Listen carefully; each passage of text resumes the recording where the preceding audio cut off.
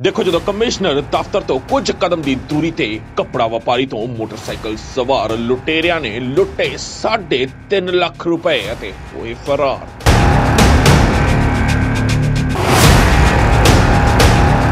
तीन सवा तीन लाख था चेक बुकें थी डॉक्यूमेंट से बीच में ਵਾਹਿਗੁਰੂ ਜੀ ਖਾਲਸਾ, ਵਾਹਿਗੁਰੂ ਜੀ ਫਤਿਹ। ਗੁਰਪਿਆਰਿਓ, ਤੁਸੀਂ ਬਾਖੂਬ ਜਾਣਦੇ ਹੋ ਪੂਰੇ ਪੰਜਾਬ ਦੇ ਵਿੱਚ ਲੁੱਟ ਖੋਹ ਦੀਆਂ ਵਾਰਦਾਤਾਂ ਦਿਨ ਪ੍ਰਤੀ ਦਿਨ ਵੱਧ ਰਹੀਆਂ ਨੇ।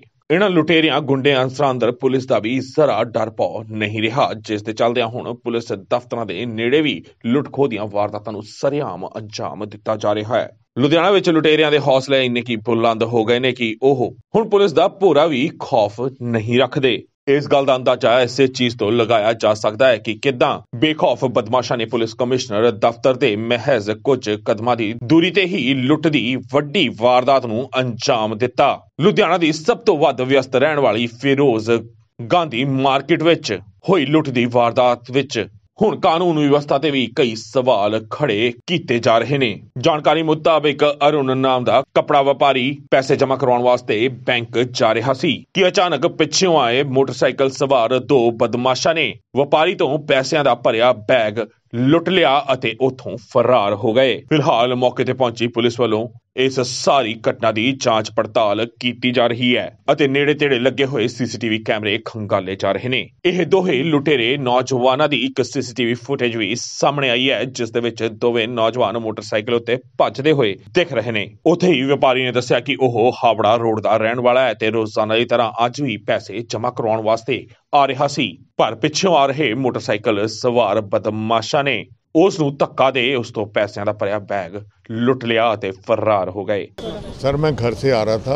फिरोज गांधी मार्केट पीएनबी में आया था तो एक बंदे ने मेरे को धक्का दे के नीचे गिरा दिया और बैग खींच के भाग कितनी गया अमाउंट थी सर तीन सवा तीन लाख था जी तो चेक बुकें थी जी डॉक्यूमेंट से बीच में तो किस पर थे अ, वो नौजवान कितने थे कितने दो नौजवान बंदे थे भैया मोटरसाइकिल पे थे ਮੌਕੇ ਤੇ ਪਹੁੰਚੇ ਪੁਲਿਸ ਅਧਿਕਾਰੀ ਜਤਿੰਦਰ ਚੋਪੜਾ ਨੇ ਕਿਹਾ ਕਿ ਅਰੁਣ ਨਾਮ ਦਾ ਵਿਅਕਤੀ ਜਿਸ ਤੋਂ ਪੈਸਿਆਂ ਦੀ ਲੁੱਟਖੋ ਹੋਈ ਹੈ, ਉਸ ਦੇ ਬਾਬਤ ਛਾਣਬੀਨ ਕੀਤੀ ਜਾ ਰਹੀ ਹੈ ਤੇ ਜਲਦ ਦੋਨੇ ਮੋਟਰਸਾਈਕਲ ਸਵਾਰ ਬਦਮਾਸ਼ ਫੜ ਲਿੱਤੇ ਜਾਣਗੇ। ਇਹ ਇੱਕ ਨੇ ਪੈਸੇ ਜਮ੍ਹਾਂ ਕਰਵਾਉਣ ਆਏ ਸੀ ਪੀਐਨਬੀ ਬੈਂਕ 'ਚ। ਕਰੀਬ 3.5 ਲੱਖ ਰੁਪਏ ਦੱਸਦੇ ਆ, ਜਿਹੜਾ ਕਿ ਇਹਨਾਂ ਤੋਂ ਬੈਗ ਸੀਗਾ ਖੋ ਕੇ ਲੈ ਕੇ ਗਏ ਨੇ। ਕੁਝ ਸਾਨੂੰ ਕਲੂ ਮਿਲ ਗਏ ਆ, ਬਾਕੀ ਇਨਵੈਸਟੀਗੇਟ ਕਰ ਰਹੇ ਹਾਂ। ਉਮੀਦ ਹੈ ਛੇਤੀ ਫੜ ਲਾਂਗੇ। ਇਹਨਾਂ ਦੀ ਹੌਜ਼ਰੀ ਹੈ ਰਾਹੋਂ ਰੋਡ ਤੇ ਦਾ ਜੀ। ਪਤਾ ਲੱਗਿਆ ਜੀ ਨਹੀਂ ਕੁਝ ਕਲੂ ਮਿਲੇ ਆ ਸਾਨੂੰ। ਬਾਕੀ ਅਜੇ ਕਰ ਰਹੇ ਆ ਕਰ ਲਾਂਗੇ ਟ੍ਰੇਸ ਛੇਤੀ ਕਰ ਲਾਂਗੇ ਠੀਕ ਥੈਂਕ ਯੂ ਇੱਥੇ ਤੁਹਾਨੂੰ ਦੱਸ ਦਈਏ ਕਿ ਲੁਧਿਆਣਾ ਵਿੱਚ ਪਿਛਲੇ 30 ਦਿਨਾਂ ਦੇ ਵਿੱਚ ਤਿੰਨ ਵੱਡੀਆਂ ਲੁੱਟ ਦੀਆਂ ਵਾਰਦਾਤਾਂ ਹੋ ਚੁੱਕੀਆਂ ਨੇ ਤੇ ਛੋਟੀਆਂ ਵਾਰਦਾਤਾਂ ਕਿੰਨੀਆਂ ਹੋਈਆਂ ਨੇ ਉਸ ਦੀ ਕੋਈ ਗਿਣਤੀ ਹੀ ਨਹੀਂ ਹੈ। ਤੇ ਬੀਤੇ 3 ਦਿਨਾਂ ਵਿੱਚ ਦੋ ਵੱਡੀਆਂ ਲੁੱਟ ਦੀਆਂ ਘਟਨਾਵਾਂ ਨੇ ਲੁਧਿਆਣਾ ਦੀ ਕਾਨੂੰਨ ਵਿਵਸਥਾ ਦੀ ਪੋਲ ਖੋਲ ਕੇ ਰੱਖ ਦਿੱਤੀ ਹੈ।